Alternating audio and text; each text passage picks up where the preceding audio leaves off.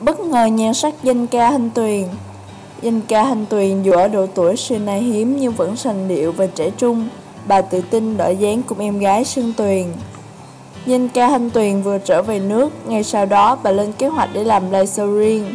Nữ danh ca Thanh Tuyền đã có mũi họp mặt gặp gỡ truyền thông, nhằm chia sẻ thêm một số thông tin về live show đầu tiên được tổ chức tại thành phố Hồ Chí Minh mang tên Tình một ngày tình cũng trăm năm. Danh ca Thanh Tuyền vẫn rất sành điệu và hỏng mốt, bà tự tin đợi dáng bên em gái ca sĩ Sương Tuyền. Live show Tình một ngày tình cũng trăm năm được xem là live show chính thức đầu tiên của Thanh Tuyền tại Sài Gòn sau nhiều năm xa xứ.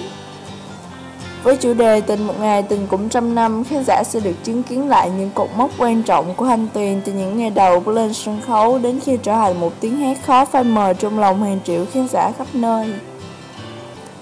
Khán giả sẽ một lần nữa được lắng nghe những nhạc phẩm nổi tiếng gắn liền tên tuổi bà. Đà Lạt Hoàng Hôn, Nỗi buồn Hóa Phượng, Dấu chân kỷ niệm, Sương lạnh chiều đông, Chuyện buồn ngày xuân. Đêm nhạc sẽ không chia rõ ràng theo từng phần cụ thể mà sẽ như một câu chuyện được dẫn dắt bằng những kỷ niệm và chuyển hóa bằng nhân vật hé vai trên sân khấu, giúp sâu chuỗi lại mọi thứ để phát ra một thanh tuyền gần gũi và trải qua biết bao nhiêu thăng trầm với cuộc đời và sự nghiệp.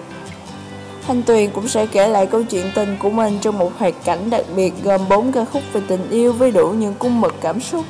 Trong đó sẽ có những ca khúc tình một ngày tình cũng trăm năm, do chính bà sáng tác từ những rung động và tâm sự của chính mình. Đây cũng là bài hát nhiều cảm xúc được bà lựa chọn để đặt trên cho live show của mình.